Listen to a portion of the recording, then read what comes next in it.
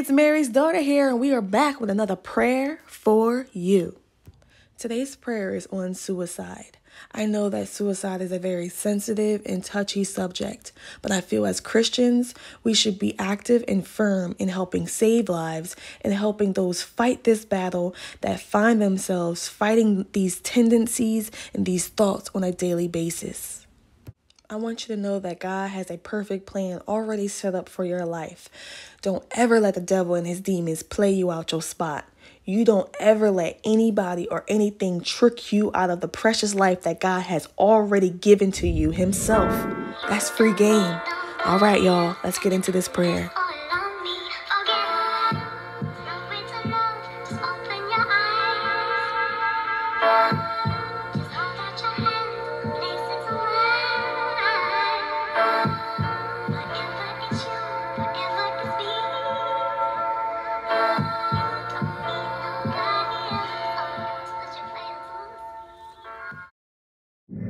Heavenly Father, we come before you today seeking understanding, prevention, and salvation over suicide.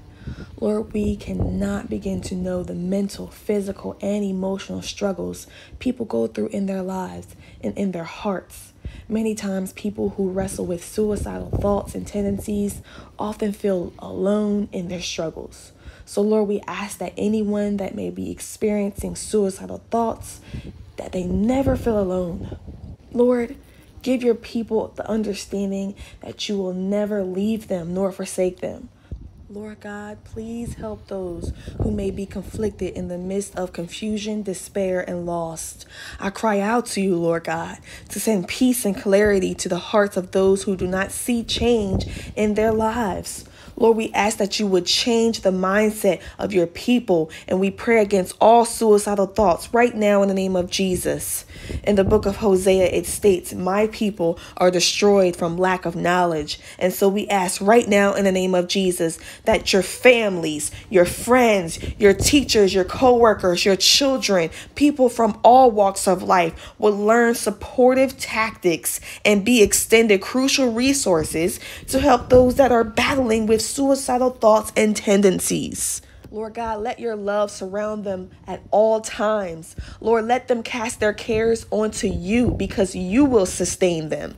Lord God, we know that the devil uses our mental space as his battlefield to wage war against us. Lord, we block all strategies and tactics to turn your people against themselves right now in the name of Jesus. Lord, block the enemy from preying upon our vulnerabilities and circumstances. Lord God, help us to discard worry and hopelessness, but instead instill in us joy, peace, love, hope, and happiness. Lord God, help us all to understand that we should be active in this spiritual warfare, not passive. Help those who are fighting suicidal thoughts to have the confidence that God's power working through them is far greater than any evil working against them.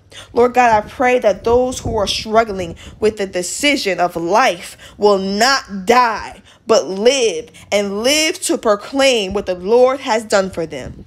In the mighty name of Jesus, we pray. Amen.